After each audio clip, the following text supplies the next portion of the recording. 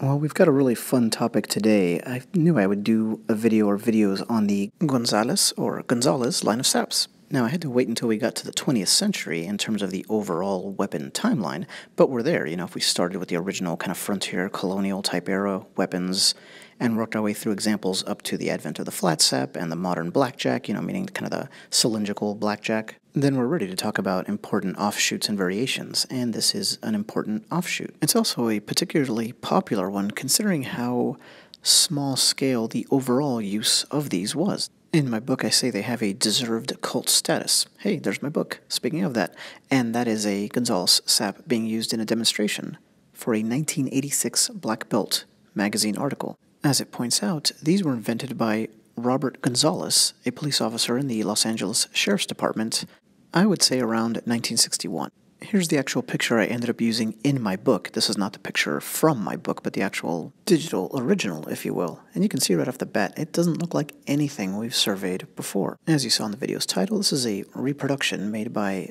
D3 Protection, and it's very faithful to the original. So unless you can score an antique, and I have yet to uh, even see one for sale, then this is as close as we're going to get.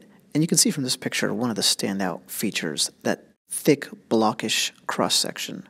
The handle itself is thicker than the business end of most saps, and you can see where that shape works its way all the way around, kind of the right the like walls of the uh, structure, but then you have the telltale long tubular load emerging from both the top and bottom of the striking portion. That contrast and combination, that's really interesting visually. I have to say, for one thing, I just love taking pictures of it, but it also gives these their unique signature look, a look all of the Gonzales models have. But now let's take a look at this one. This, by the way, recreates, you probably saw it stamped on the leather, the 415. It's the smallest of the four that Mr. Gonzales designed and built, which is funny because most saps and jacks would fit inside of this thing. So these differ highly from really like all sap precedent, not just in outline, which we talked about, kind of structure, but also in size, slash weight, and effective striking area. Look at the striking head there, and along the sides. Either way, you have much more room to strike with. Room for error is an advantage that most saps and jacks definitely did not enjoy. This one does. Now let's look at the other end. Mr. Gonzalez obviously liked the nice long lanyard. We'll play with that later, but look at the tail end there. It's got kind of that fishtail shape, like a Buchheimer Jr., really. A retention aid, in theory, meant to help keep the item from sliding out of your hand. And down there you have those same hard edges, hard as, you know, too strong of a statement, but hard for a sap. You know, the walls that we talked about wrapping all the way around it. So let's go back to talking about size. Here's kind of a typical sized blackjack, real old timer from my collection, and look at the difference in size across all dimensions, right? Not just length.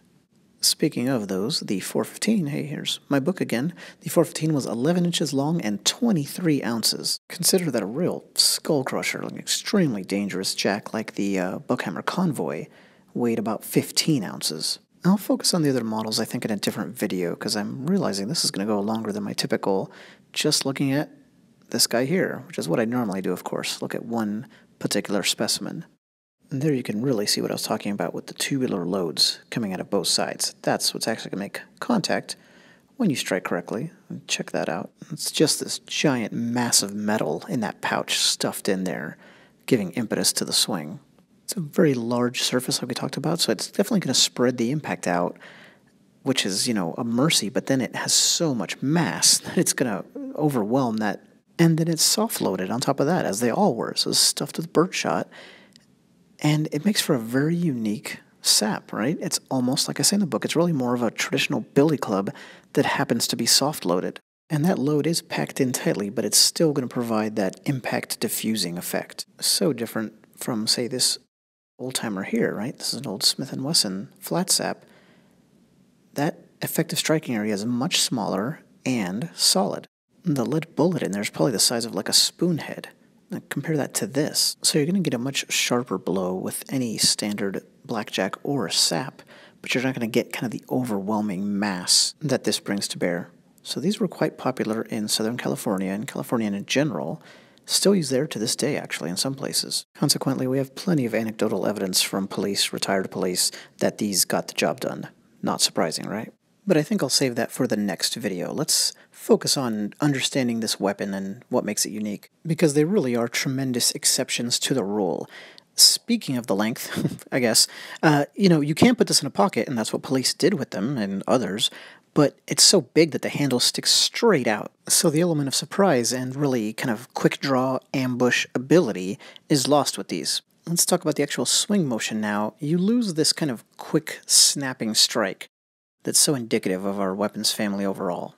Just like with other flat saps, if you want to consider this a flat sap, you can strike with the edge or with the flat, and it's definitely going to hurt either way.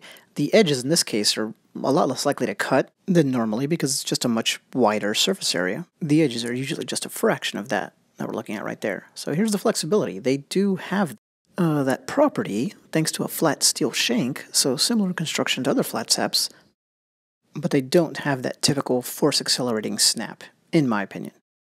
In fact, these act a lot like the late 19th century police clubs, the flexible ones, that predated weapons like the sap and the blackjack. So you see that snap? Time for a video tradition, a little test, and that hurts a lot. Why do I keep doing that? But it's to illustrate a point, right? There was force acceleration there. I'm not going to get that with this. If anything, it's going to help it bend away from the target, but I think it will have done its damage before that. So here's another unique thing about this. It's so big and rigid when, you know, striking crosswise, that you could actually block with it, maybe even with the flat. And that's just not a move that's available with most saps and jacks at all. Blocking is just not on the table because they're so small. A high amount of flexibility making that option even worse. Now let's talk long looping lanyards. Uh, this one is so long that it can't be used in the way I've shown in past videos where you could strike with the weapon even if it falls out of your hand, so it really is more meant for this kind of thing. Presumably. But even then I have to say this is not the weapon's best feature. It feels like it could get knocked out of your hand without the retention system really providing too much of a counter. Now, police officers in Southern California may have agreed because they essentially came up with this. Wrap the lanyard around the base of the handle and leave just enough out to get one finger, or maybe your thumb, through. You would then use it to yank the weapon out of your pocket and then just grasp it like you would any other club. That little tradition comes via Dave of D3, in fact. He had a video explaining that. And why not a super up close look? And the look is surely part of the appeal of the Gonzalez line of saps. I think that's one of the reasons they cut on. Uh, I call it in the book a noticeably muscular design. A lot of times, saps and jacks don't look like weapons to the uninitiated. These would not be a case where that happens. They may not have the same outline as traditional billies or saps, but their intent is unmistakable, right? It looks every bit the bludgeon.